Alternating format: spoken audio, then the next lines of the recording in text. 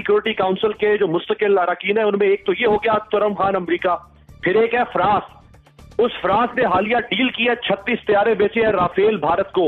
वरना आपने देखा है वाजपेयी और कांग्रेस जैसी जमात ये काम नहीं कर सकी जो कि आज आपकी हेजमोनिक आरएसएस ने कर दिया। मुसल्ला जद्दोजहद भी हमने की जंग भी की। और बहुत शानदार मुसल्ला जद्दोजहद हुई जिसके नतीजे भी नहीं निकले कोई बहुत अच्छा नतीजा नहीं निकला। लेकिन इसके साथ साथ उसके जो नए एलाइज हैं ख़ासतौर से अमेरिका सऊदी अरेबिया और और यूएई वो ये चाहते हैं कि इस खत्े में हिंदुस्तान चौधरी रहे या चौधरी बने। इसे आप मोदी की कामयाबी कह लें या मुसलमान दुनिया भर में जो है उनकी बदकिस्मती कह लें। हमारा P R is zero minus zero India का P R is one hundred percent over आपने सबसे पहले घबराना। हेलो फ्रेंड्स अपना हिंदुस्तान न्यूज़ में आपका स्वागत है। प्लीज़ वीडियो को लाइक करिए चैनल को सब्सक्राइब करिए और साथ ही साथ बेल नोटिफिकेशन आइकन को भी दबाएँ और उसके अंदर भी ऑल का ऑप्शन है उसे क्लिक करें जिसकी वजह से जब भी वीडियो अपलोड हो आपको नोटिफिकेशन मिल सके। थैंक यू फ्रेंड्स कश्मीर के मसले का हल आप समझते हैं कि मुजाकर से मुमकिन है? आप सारी अकवाम मुतहदा को भी साथ मिला लें तो आप कश्मीर को कम अज कम अकवाम मुतहदा से तो हासिल नहीं कर सकते हैं। इसी जिस सिक्योरिटी काउंसिल की पहला ज़िक्र पहले ज़िक्र हुआ इसी सिक्योरिटी काउंसिल के जो मुस्तकिल अरकान है उनमें एक तो ये हो गया तुरम खान अमरीका फिर एक है फ्रांस। उस फ्रांस ने हालिया डील किया छत्तीस तैयारे बेचे हैं राफेल भारत को जो 7.87 बिलियन यूरोज डॉलर्स नहीं 7.87 बिलियन यूरोज हम सोच भी नहीं सकते। ये है ताल्लुकात भारत के मुल्कों के साथ। जारी बात है हर तरह का ताल्लुक हम नहीं बना सकते। हमारी कोई सब भी मुआशी मजबूरियाँ हैं। लेकिन अकवाम मुतहदा इन ताकतवर मुल्कों की राखेल बन चुकी है। इन ताकतवर मुल्कों के दस्तरखान की चटनी है। वो जैसे चाहे इसको इस्तेमाल करते हैं। जो दस टॉप फंडिंग कंट्रीज़ है अकवाम मुतहदा के उसमें से सिर्फ़ एक हमारा दोस्त है चीन। हम्म। बाकी नौ ममालिक वो है कि जो हमारी नस्बत थोड़े से भारत से ज़्यादा ताल्लुक बेहतर रखते हैं। अकवाम मुतहदा आपका मसला हल नहीं कर सकती है तो एक रबड़ स्टैंप है। मैं पहले कह रहा था ये मुंशी है चौधरी का। चौधरी जैसे चाहता है मुंशी के ज़रिए से अपनी रिट कायम करता है। तो अकवाम मुतहदा से छोड़ दें। मैं मुजाकरात को भी मैं नहीं समझता ऑप्शन होगा। ना अकवाम मुतहदा करेगी। आपको देखें जिसे कहते हैं ना कि वो अकेला ही चला था जानब मंजिल मगर। लोग मिलते ही गए और कारवा बनता गया। हम अकेले हमें अकेले चलना है लेकिन हमें ऐसी स्ट्रैटेजी बनानी है कि लोग हम्म। अवाम और इदारे तंजीमें उनकी हमदर्दियाँ हासिल करें सफ़र तवील हो हम्म। लेकिन रास्ता यही है जो हालात हैं हिंदुस्तान के अब जो सूरत हाल है हिंदुस्तान की उससे मुझे नहीं लगता कि यह मसला बातचीत से इस तरह हल होगा देखें जब कंपोजिट डायलॉग थे उस वक्त एक उम्मीद थी कि ये कंपोजिट डायलॉग जो कांग्रेस की गवर्नमेंट थी हमें वाजपेयी साहब की गवर्नमेंट थी हमें एक रिज़ल्ट दे देंगे। खुद वाजपेयी साहब बहुत इंटरेस्टेड इंटरेस्टेड थे। इस बात में कि ये मसले हल हों। वो कहा करते थे कि भारत की तरक्की में दो चीज़ें हायल हैं। एक मसला कश्मीर और एक बाबरी मस्जिद। और इन दोनों को हल करना होगा। तो मोदी साहब ने हल कर दिया, कश्मीर पे कब्ज़ा कर दिया और बाबरी मस्जिद गिरा दी। इसका ज़रा मुकाबला करें आप थोड़ा सा फ़लस्तीन से। फ़लस्तीन मुजाकर में मारा गया। हम्म। फ़लस्तीन जितना बड़ा था नक्शे के ऊपर, उसको आप देखते रहें फोर्टी एट से अब तक, अब वो एक नुकता बन के रह गया है। और अकवा मुतहदा अपनी तमाम तर करारदादों के बावजूद, तमाम तर लफाजी के बावजूद कुछ नहीं कर सकी। फ़लस्तीन को रुकनीत दी गई, फ़लस्तीन को ऑब्जर्वर बनाया गया, फ़लस्तीन को इमदाद दी गई। लेकिन क्या हुआ वहाँ पर?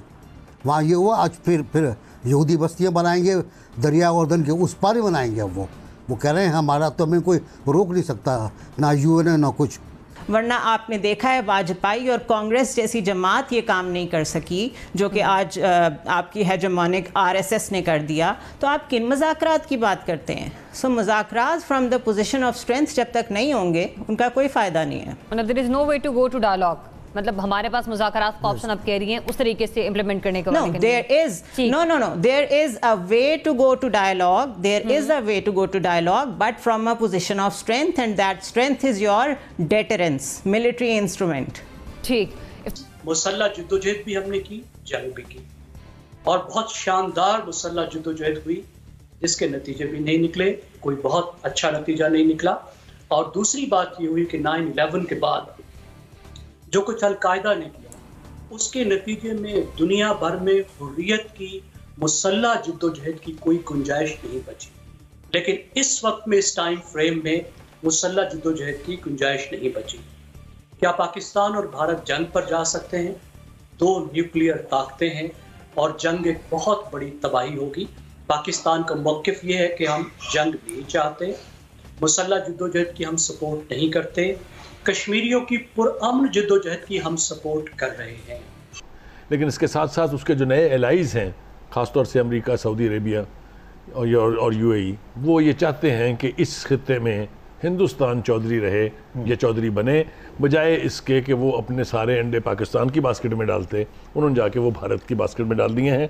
इसे आप मोदी की कामयाबी कह लें या मुसलमान दुनिया भर में जो है उनकी बदकिस्मती कह लें जो भी नाम दे लें लेकिन ये रोल इनका अच्छा नहीं है। ये हमने ये वो नुकसान है जिसका आने वाले वक्त में हमें सही अंदाज़ा ईरान और अफ़गानिस्तान से तो ठंडी हवा रही है देखें ये बिल्कुल ऐसे ही है कि हम उनसे ये तो रखें कि वो राह की खराबियाँ निकालें राह ने जो गंद पूरे इस रीजन में किया हुआ है उसकी ओनरशिप भी तो मोदी साहब लेते हैं ना कि वो बहुत कमाल कर रहे हैं हाँ, हाँ। जिस तरह अजीत डोवल ने एक सेल बना रखा है डिस्ट्रॉय ग्वादर एक बिलियन डॉलर उसका उसकी फंडिंग है हाँ। तो वो इस पर अगर फ़ख्र कर सकते हैं वो समझते हैं बहुत बड़ा काम किया है तो वो उनको मुबारक हो लेकिन इंटरनेशनल अरीना में हमने दो मुसलमान ममालिक के नाम तो ले दिए लेकिन मैं बिल्कुल ज़िम्मेदारी से कहता हूँ कि सबसे बड़ी बिट्रेयल जो कश्मीरी मुसलमानों की है वो हमारी पूरी जो मुस्लिम बरदरी है जिसको कभी हम उम्मा कहते थे या वो ओआईसी जो एक इम्पोर्टेंट ऑर्गेनाइजेशन है उसको आप कोई रत्ती भर क्रेडिट नहीं दे सकते। आप देखिए दो बड़े इशू मुसलमानों के हैं एक फ़लस्तीनियन का है दूसरा कश्मीरीज का है। मगर जो आलमी ज़मीर है जो मुर्दा तो है ही दिल तो इससे बड़ी गाली देने को चाहता है उसको। इसलिए कि इन्हीं कश्मीरियों के हवाले से दो रेजोल्यूशंस यूनाइटेड नेशंस के अंदर पिछले सत, करीब सत्तर साल से पड़ी हुई हैं लेकिन किसी का ज़मीर नहीं जागता किसी को वहाँ होने वाली ह्यूमन राइट्स वायलेशन दिखाई नहीं देती हैं।